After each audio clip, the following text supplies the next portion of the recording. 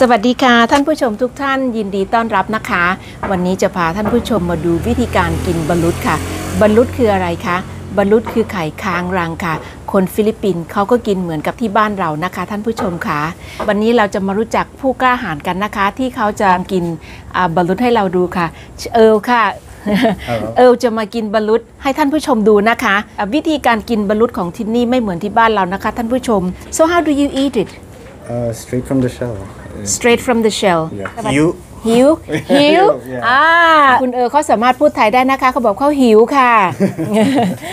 normally you look for the bottom part. โอเค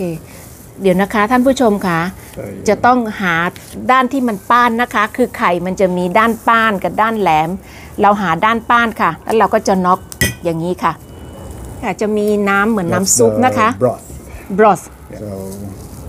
first things first, you sip that. โอเค อันดับแรกคือเราจะต้องกินน้ำอยู่ในไข่ค่ะ ท่านผู้ชมค่ะ So that's the yolk. This one is mostly yolk. อ๋อ So let's open it up first. only yolk I think It's mostly yolk. อย่าโอเคอืมเขาตักน้ำส้มใส่ไข่นะคะ อืม แล้วก็ดูดกิน I see something look Let's get the yolk out of the way so we can see the Yeah. embryo. yeah There you go. see that That's the embryo. It's like an undercooked chicken, but you don't get the you go, you Meat. don't get the meat of the chicken. Chicken. It, it's kind of like eating tofu, อ๋อเขาบอกว่ารสชาติเหมือนกับกินเต้าหู้ค่ะท่านผู้ชมคะ but it's not it's not gamey. It's not pungent. Or anything. it's, it's uh, So let's try this other. one. โอเค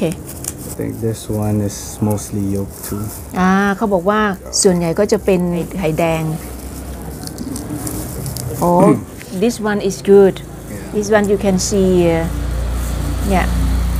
Mm, this vinegar will help you to lessen the taste of Yeah, it's um, like after a while, if you don't um, if you don't eat it with vinegar or salt, after a while it gets um, gets boring. อืมโอเค so this is just to you know spice things up Yeah. literally. อย่าน้ำส้มจะช่วยทำให้รสชาติของไข่ค้างรังดีขึ้นนะคะ นี่คือเป็น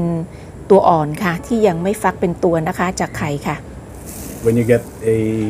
more developed fetus in a balut, usually there's not that much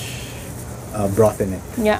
and the broth is tasty. แต่ for it. อ่า So เขาบอกว่าน้ำซุปที่อยู่ในไข่เป็นส่วนที่อร่อยที่สุดในไข่ค่ะ that's why we usually like it like with a really small embryo with a lot of uh, soup lot of but broth yeah yeah not soup sorry yeah it's a lot of broth เขาบอกว่าอ่า คนฟิลิปปินส์ส่วนใหญ่เขาจะชอบกินเป็นตัวแบบนี้นะคะ คือคือยังไม่ฟอร์มเต็มตัว เพราะว่าถ้าเกิดเป็นตัวลักษณะนี้จะมีน้ำซุปอยู่ในไข่เยอะ ก็อย่างที่ท่านผู้ชมทราบนะคะอ่าไข่ค้างรังคือไข่ที่อ่าไม่สามารถฟักเป็นตัวค่ะน้ำส้มใส่นะคะ See how it tastes. แยะ